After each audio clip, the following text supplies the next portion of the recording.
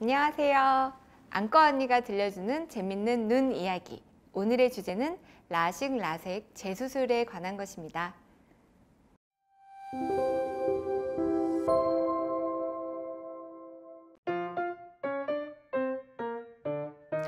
어, 보통 0.7 이하로 떨어지면은 좀 눈을 찡그리게 되고 확실히 불편해지기 때문에 권유를 드리고요.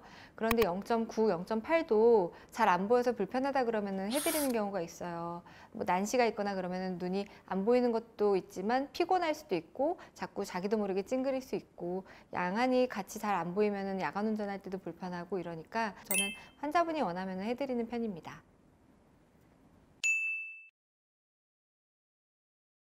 우선 눈이 계속 나빠지면 계속 할 수도 있어요. 각막이 남아 있다면. 근데 그렇게까지 막 여러 번, 뭐 세네 번 이상을 하는 경우는 아주 드물고 보통은 한 번 정도 다시 하면은 다시 나빠지지 않기 때문에 한 번 정도 하는 게 가장 많고 두 번, 세 번까지도 가능은 합니다. 오히려 나이가 많으면은 재수술을 하고 나서 다시 나빠질 가능성이 적기 때문에 나이는 크게 상관은 없고요. 그런데 노안이 오는 나이 40대 중반이 됐다. 그러면은 노안을 오히려 보완할 수 있는 상태가 됐기 때문에 눈이 나빠진 게 오히려 노안에는 더 좋을 수도 있죠. 각막이 너무 얇거나 각막에 문제가 생겼을 때에는 각막을 건드릴 수 없기 때문에 재수술을 라식이나 라섹으로 안 하고 그 상태에서 렌즈 삽입술을 하는 경우도 있어요. 그래서 어, 재수술이 아예 안 되는 건 아니고 방법을 렌즈 삽입술로 할 수는 있습니다.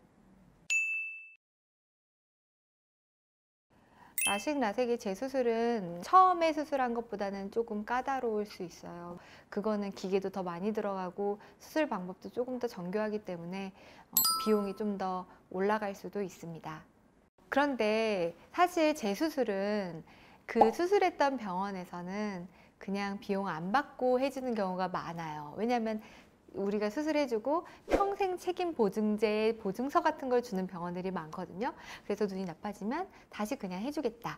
그래서 비용을 안 받고 재수술을 해주는 경우가 많아서 내가 수술했던 병원에 가면 그냥 해주는 경우도 많이 있어서 저희 병원은 이제 다른 병원에서 수술했는데 그 병원이 뭐 없어지거나 오래돼가지고 아니면은 그 병원에 뭐 예, 가기 싫어서 이제 우리한테 왔다 이런 경우에는 사실은 그냥 비슷하게 받고 있어요.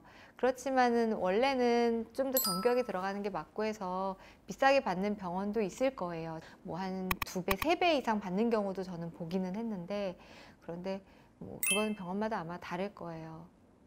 오늘 컨텐츠가 도움이 많이 되셨다면 안과 언니 구독과 좋아요를 꼭 눌러주세요.